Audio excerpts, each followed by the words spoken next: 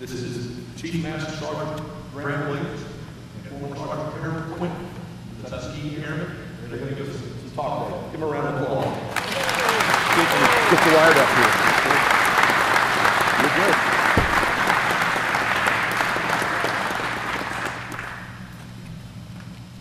Let it rip, sir. It's all you. Good morning. Good morning. Oh, what a crowd. All of your pilots? Neither am I. I am Chief Master Sergeant retired Grant Williams, a native of Halifax County, Virginia. I entered the military service at Fort Dix, New Jersey, and 26th of February 1942. I was, We can't hear you. Is that better? In service in 1942. I was sent to Tuskegee, Alabama for basic training. And from there, we went up to Michigan for additional training and eventually to Italy, where I served with the first black pilots in America. When the war was over, I uh, went into civilian life and stayed until the Korean War came along. By that time, I was ready to come back, and America was ready for me. So I was recalled to active duty and for the next 24 years. I served at various bases throughout the states, overseas to Japan, Turkey, and Vietnam. Finally retired from Langley Air Force Base at Hampton, Virginia, as the Chief Master Sergeant. Our topic today is about a group of men who had to fight for the right to fight for the country. I say that because people of color have fought in all the wars we've had since the Revolutionary War days, but they have never been allowed to serve in positions of responsibility. They're used as an excuse that they have no place to train black people. This came out of uh, an Army War College study that was conducted in 1925, which concluded among anything, uh, among other things, that people of color thought within themselves that they were inferior. They thought that they were cowards, that they would run in face of danger. America thought that they certainly didn't have the intelligence to fly an airplane. And if by chance they could fly, they didn't think they could fly and fight at the same time. This group of men that I'm, we'll talk about today dispel that myth, and they change the course of history because they did some things that no other unit before or since has been able to accomplish. I know we could talk all day and we wouldn't complete everything that you might have, might expect to hear, but we're not going to bore you with uh, a long speech. We'll just give you some of the highlights, hoping that you will ask questions concerning those things that you're concerned with. There were two distinct phases of our military service, and I'm speaking of myself and Sergeant Quinton. The reason I say there were two phases, one was the beginning of the program, and the other was the conclusion of the program. So I will talk about the, basically about the first portion, and Sergeant Quinton will talk about the second portion. He was a, a part of the second portion. And I, had- I didn't know what was going on at that time because I was way away some, someplace else. Initially, America tried their best to avoid opening a school to allow colored people to train. But when that was done, these men were taught that they had to perform and perform well in order to maintain the status of the military. They had to catch up with those people who are already in the military and learn how to do the job from the ground up. We had a man to lead our group who was one of a kind. He was a man who had served four years at West Point, United States Military Academy. And during that time, he was the only man of color there. He was the only man who had a room to himself because no one else was room with him. During the week, he took his meals along with his classmates. On weekends, they had what they called open seating. So he had to stop at each table and ask for permission to be seated. He was consistently refused. But he was determined to be a success. So he withstood all of that situation, and he was determined to succeed. To show you the caliber man that he was, out of a class of 276, he graduated number 35. I think that tells you something about his determination to succeed. So he withstood all the things that they required him to do and graduated. He was the only man who had any tra- uh, aviation training. He learned early on his, or during his time at West Point, he had a, a flight and he decided that he wanted to be a pilot. So he did everything he needed to do to graduate.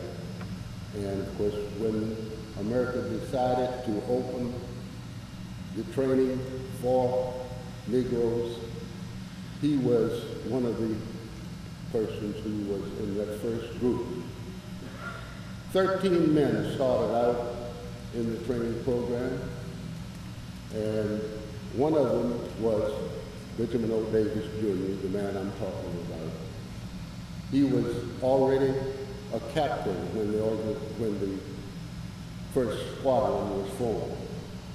So, being the senior man, he became the leader of the group. And he worked very hard with his men, explained to them what they were up against, let them know that this wasn't a playtime. They had to follow the rules and follow them without uh, question as to why. Initially, one squadron was formed, which was the 99th Pursuit Squadron at, at that time. Very soon thereafter, the pursuit squadrons, the name was changed to fighter squadrons. A little later, as the war progressed, they felt the need for additional powers, and a group was formed with three, three additional squadrons. They became known as the 332nd Fighter Group.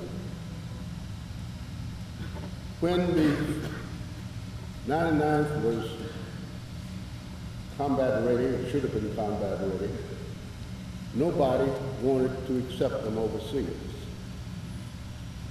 And the president's wife, Mrs. Roosevelt, took a trip down to Tuskegee uh, to see why they weren't being sent into battle. And as I understand it, uh, she took a, a ride.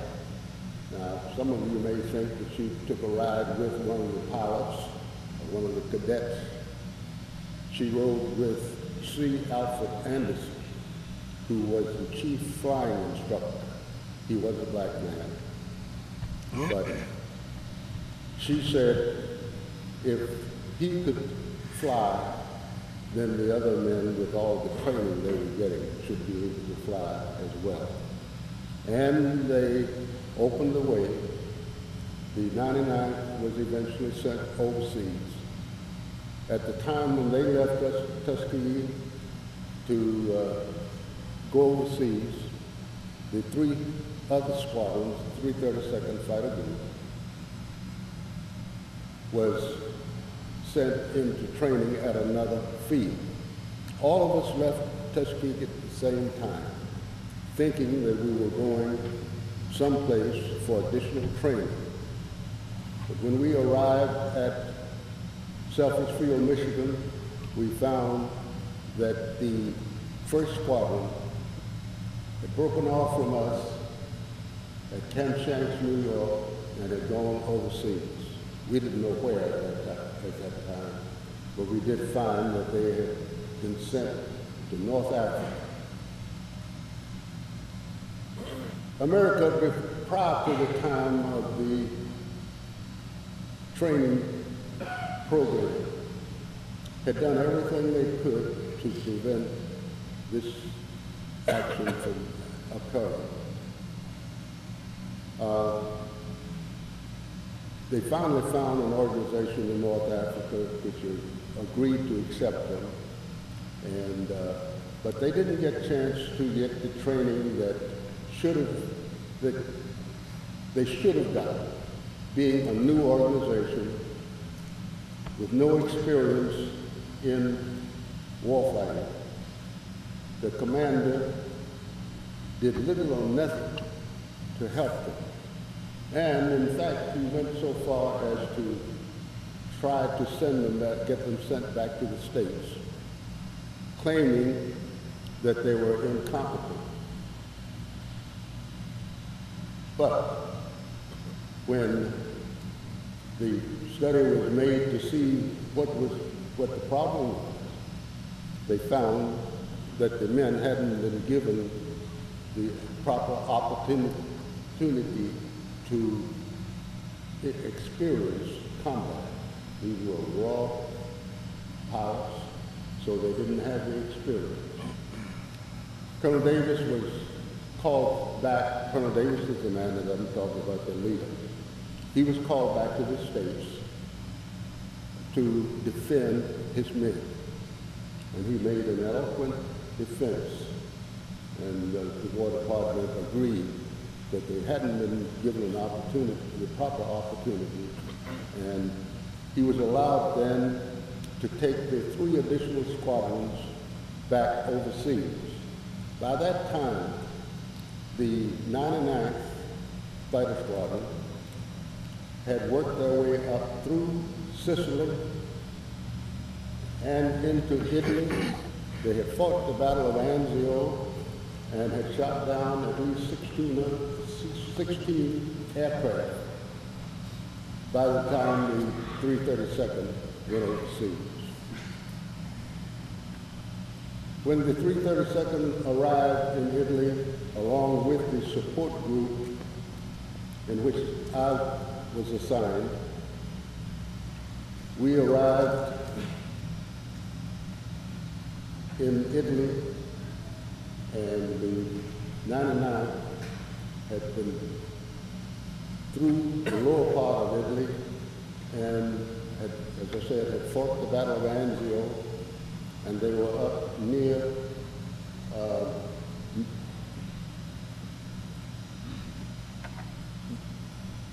just the, the, I'm losing, losing the name of the town. Foggia, Foggia, Maine. Uh, they were at Fort Germain when we arrived at Taranto, and we went up to uh, a little place called Montecorvino. Early on our visit there, we had something happen that uh, hadn't occurred since AD 379. Does anybody have any idea what I'm going to talk about? No. One night, we thought uh, we heard hail on our tents. We were in pyramidal tents. And when we looked out, it wasn't hail as we thought it was, but it was lava from Mount, from Mount Vesuvius. Vesuvius. Mount Vesuvius had erupted in AD 379 and had been quiet until that point. But we had to move volcanic ash with bulldozers, just like we do moving slow, snow here in America. So that was quite an event, quite a welcome for us. But uh, we realized we had a job to do, so we went to work and helped to clean the area so that we could do our training. As the war progressed, the units moved further north. The, uh, eventually, uh, the three additional squadrons merged with the 99th and made the only four squadron fighter group in Italy. Now, the war was pretty hot and heavy by that time. And America was losing a lot of bombers to the enemy. Uh, it was a little difficult in accepting for the first squadron, for example, they were doing, doing the best job that they could. But there was some hesitancy in accepting, uh, finding what type of missions they would use for the four squadrons that they had.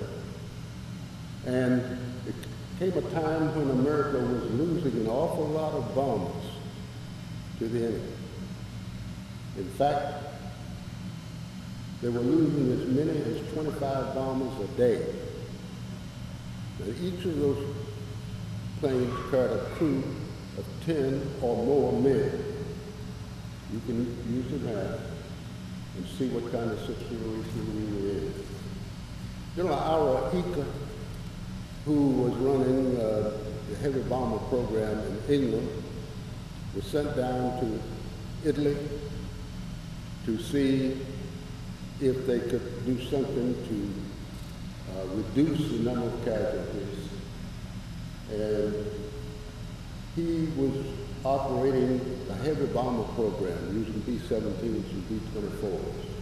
Each of those aircraft carried a crew of 10 or more men on it. And they were losing bombers left and right. He asked Colonel Davis if he, his men could help. Colonel Davis agreed that they could and they would if given the opportunity. When he got that assignment, I was told that he explained to his pilots that if they were found to leave those bombers unaccompanied, trying to become aces, he, he recognized very early on what the problem was. The bomber the, the fighter squadrons that had been escorting the heavy bombers was trying to become aces. They wanted to shoot down five aircraft so that they could get the names in the record. He says to him, or, or to his men, if you are found to leave these bombers un- unattended, we will be grounded and court-martialed. Our guys said they didn't mind being court-martialed, but they didn't want to be grounded. They wanted to fly. So they took him at his word, and he got the assignment of escorting the heavy bombers. Uh, it didn't take long for the bomber pilots to notice that there was something different. They had no idea who it was who was saving their bombers. How many of you saw the HBO movie with uh, Laurence Fishburne and Cooper? Well, you might, you might recall a scene where the uh, crew, bomber crew, had been saved, brought home safely, and they wanted to find out who it was that them. They went to the base when they were told where these pilots were from. The bomber pilot went to see, to talk to them and thank them for bringing them home. But when they got to the base and they were greeted by black pilots, he wanted to know where the pilots were. And they said, we are the pilots. And he told the driver, get me out of here. You're in the wrong place. He didn't think that the, these were black pilots who had been escorting them and got them home.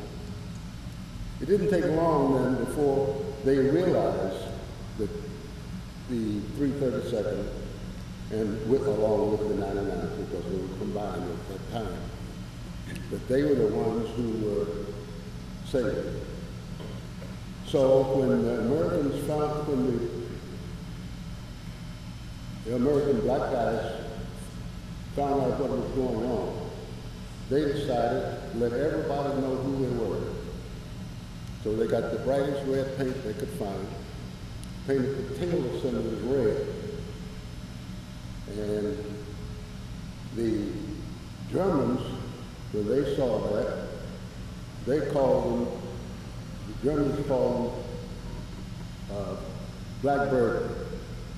The Americans called them red tail eagles.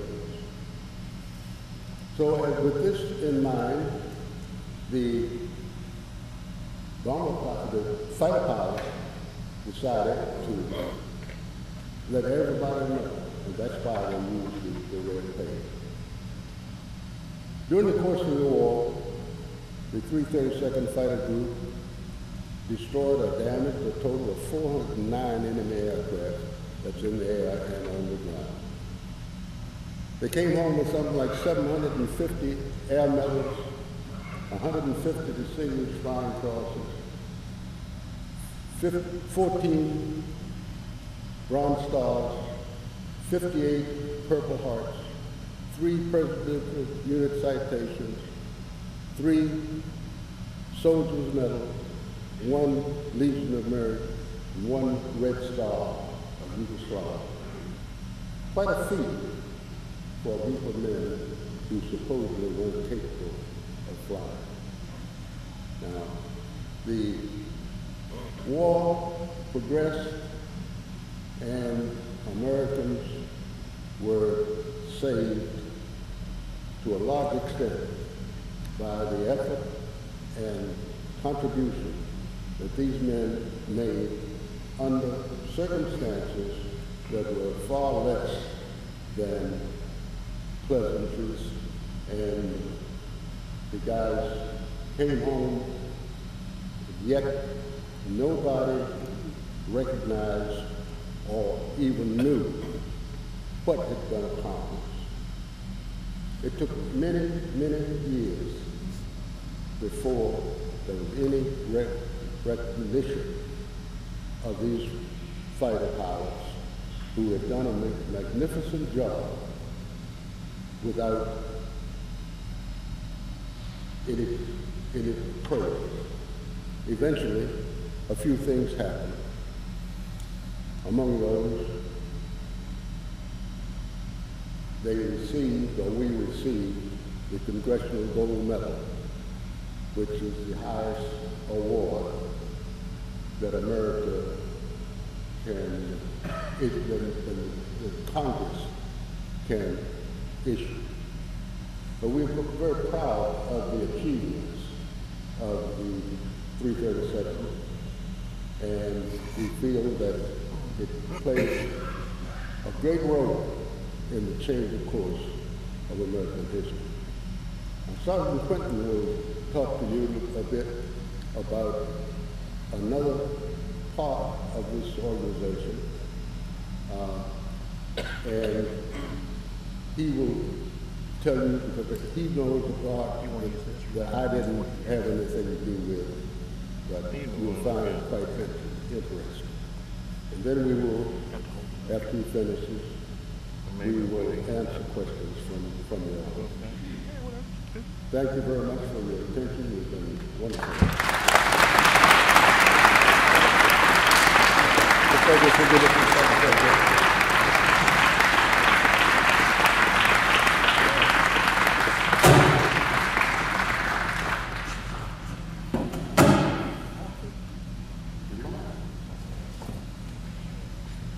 Morning.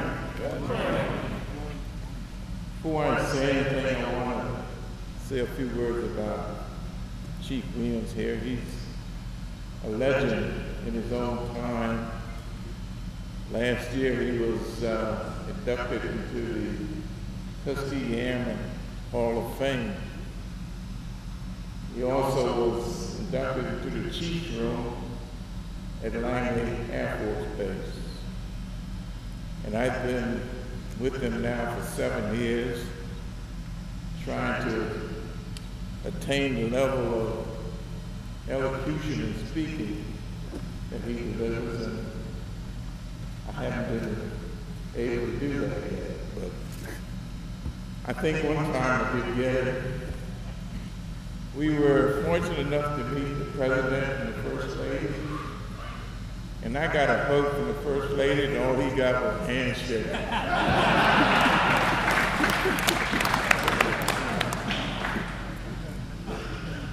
I'm going to talk to you about the 477th Bombardment Group. You probably haven't heard too much about that, it's a tragic story.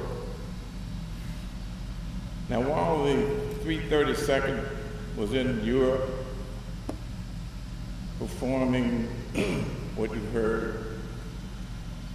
That was pressure being applied in the United States on the War Department and on the White House to open up all the uh, venues of military aviation to Negroes. That's the terminology at the time. They wanted not only to be trained as fighter pilots, but as uh, twin engine, bombardier, navigators, gunners, and all the other occupations that go along with that.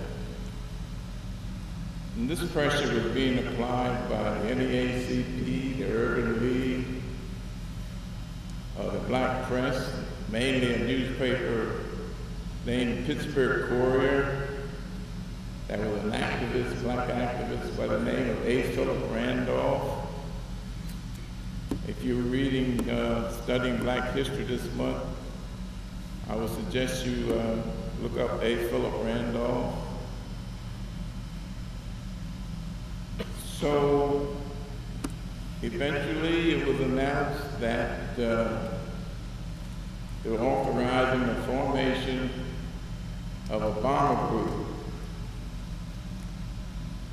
And it was to consist of four squadrons flying this plane here, the B-25. And it was, as soon as it was uh, announced, believe it or not, General Hap Arnold, some of you, I know a lot of you heard about Hap Arnold, Commanding General of the Air Force. He tried everything he could do to prevent that. However, he was unsuccessful because President Roosevelt had promised that if he was elected, that that group would be formed. The group was activated at Selfridge Field, Michigan in 19, in January 1944. Now I'll give you an idea of what the racial climate was around Selfridge Field in Detroit, near Detroit at that time. There had been a race riot at- in Detroit. Several people have been killed and incarcerated. At Selfridge Field, the commanding colonel there was very prejudiced, and he had told the motor pool, don't ever send me a Negro chauffeur. They made a mistake and sent a Negro chauffeur one day because his chauffeur was on leave or wherever. And the colonel had been drinking. And when the soldier arrived, the chauffeur, he pulled out his sidearm and shot him. So that's how it was in that time. The group was under the command of uh, General Hunter, 1st Air Force, and his orders were that there would be no mixing of races. At no time would any white personnel be in a position to have to take orders from any black personnel and to build a separate officers club for the black officers who were being trained to fly these B-25s. Well, there was uh, some uprising, some talk about it, and the War Department decided that he couldn't do that and told him he had to stop. So he stopped and he moved us to Godman Field, Kentucky. Now, Godman Field was a small inferior base, really. I Only had one hangar, certainly not enough space to hold four squadrons of these bombers.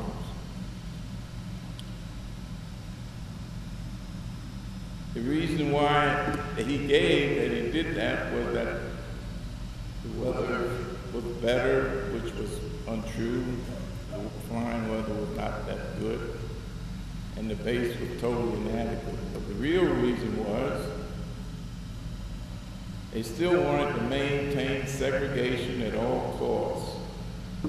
And the white officers were invited to the officers club at Fort Knox, and the black officers were not. Now, it seems strange or idiotic that there's a war going on. We're supposed to be training a bomber group, but the main, seems the main purpose here is to maintain a, a segregated uh, form of controlling this group. We stayed there for a short period of time, and there was, we weren't progressing. And the Pittsburgh Courier, the newspaper I just mentioned, started printing headlines, why aren't our boys overseas? And there was an investigation by the War Department again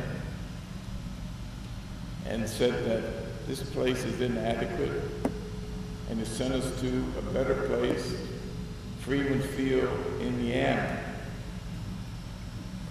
Now, Freeman Field was a, a, a wonderful place, base as compared to down in the field. But the people, the town of Seymour was very unfriendly. They had put signs in the windows that we don't serve color, no color allowed. Some of the officers' wives trying to take their laundry to the laundry. They refused to take the laundry, even though they were washing prisoners of the German POWs' laundry. So that's when, again, Colonel Selway, he set up two clubs. By the way, he confiscated the NCO club. And he said one club would be for instructors, and the other club would be for trainees. All instructors were white, and all the trainees were black. And some of these trainees, some of these blacks classified as trainees weren't really trainees. In fact, one of them was Spann Watson, who had been with the 332nd in combat in Italy. Well, one night, a group of three of officers walked into the number one club, so to speak, and they asked to be served. They were refused service. They were asked to leave. They refused to leave, and they were arrested. Shortly thereafter, another group went in and they were arrested. By the end of the week, 61 officers had been placed under arrest. So Colonel Selway shut down both clubs. And he issued a directive, base order, which read to the effect that if you knew who you were, then you were supposed to go to the club so designated. And he called in all the officers and he had them read it or read to them. And he told them this is a direct order to sign it. And he reminded them that in wartime, refusing a direct order, you can be put before firing squad. Now imagine yourself being in that position. And 101 of those men refused to sign. And 101 were all placed under arrest. We were all shipped back to Kentucky. Well, finally something good happened. The war was over in Europe, and Colonel Davis and a cadre of men from the 332nd officers and enlisted men were assigned to Godman Field. Colonel Davis was placed in command of the base, and all those officers were relieved of duty. There was a court martial. But all of those men, except three, were exonerated of any charges. There was a letter reprimand was put into their file, which stayed in their file until President Clinton uh, had it, gave permission to have it removed. Of the three that were court-martialed, two were fined $150, and one was given a dishonorable discharge because he was charged with pushing the provost marshal. That was also reversed by President Clinton. With Colonel Davis in charge, we were I was sitting around, did a 180 degree turn. We were finally getting ready for combat.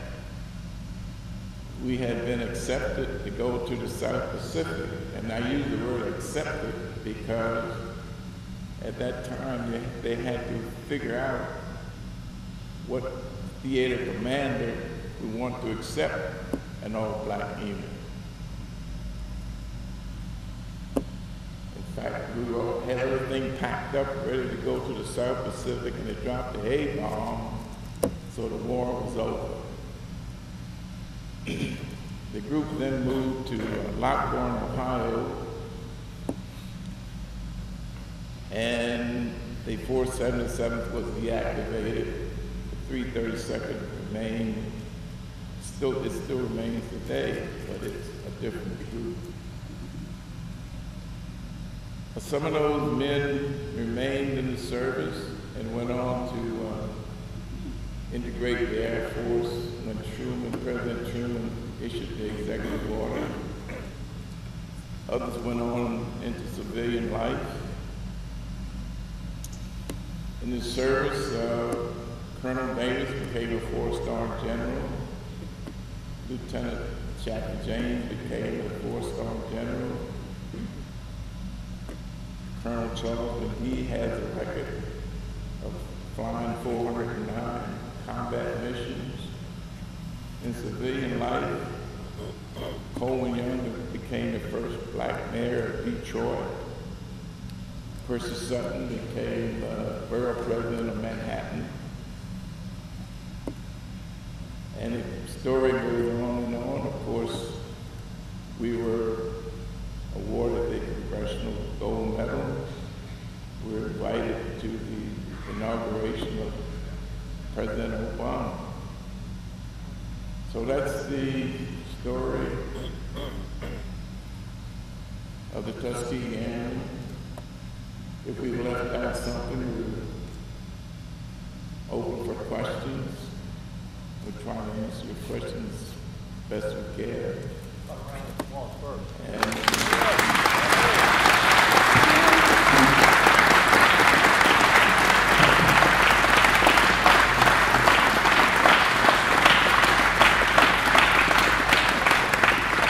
Thank, thank you very much for your, for your words. Um, I belong to an organization of World War II vets. I'm the son of a World War II vet, USS Indianapolis. Uh, there are 46 survivors still alive today. One of the things that I've learned working with those fellows is there's a need to tell their story, just like there's a need to continue to tell yours. Do you have an organization of sons, daughters, friends of that is helping to tell your story? Because with our group, I know as they get older, they need more help. We always have sons, daughters help. Okay. Yes, sir. We now have uh, 54 chapters of of, of Tuskegee Airmen telling the story. Now, the membership is open to anyone who wants to carry on the legacy. We do have a group, not separate from ours, involving descendants. Uh, my daughter, for example, is a life member of Tuskegee Airmen. And anybody who wants to carry on the legacy can join.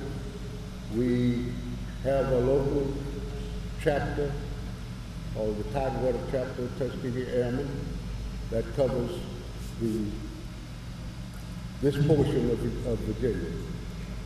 Uh, and as, as I said, we also have to encourage uh, the young people, we have a youth program where they can get training.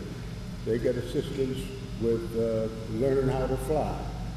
So we do have uh, some change to go down and connect the young people with, uh, with the Tuskegee program. I had the pleasure two weeks ago at Court News, and it's always a great pleasure to meet people that can relate with the past to us. To- Anyways, it's always like the Tuskegee experiment, it was bound, I guess they tried to prove that it's not gonna make it. Did they provide equipment like older aircraft, secondhand aircraft, port supplies to the Tuskegee Airmen just to try to make sure that it would fail? Okay. Oh, I had, originally,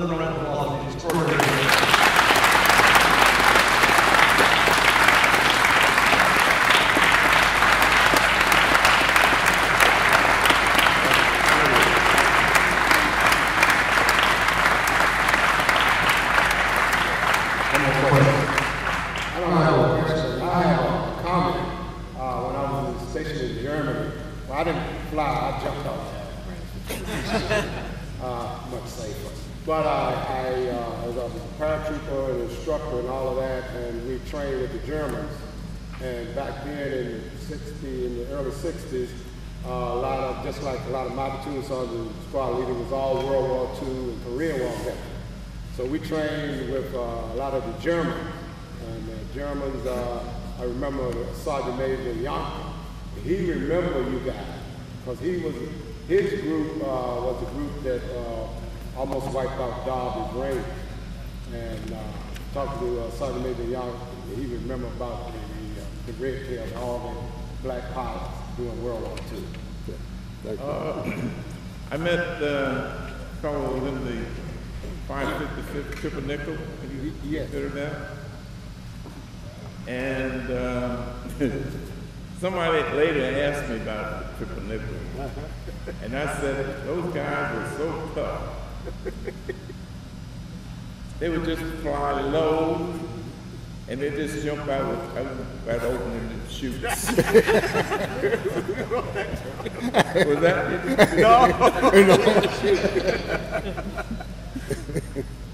Want to tell you that the Fighter Factory main facility is going to be open at twelve thirty. Also, the World War One hangar is going to be open at twelve thirty. Uh, Bubba's Barbecue is out front. Very good. And we're doing ready for our P one less than the same type of these guys.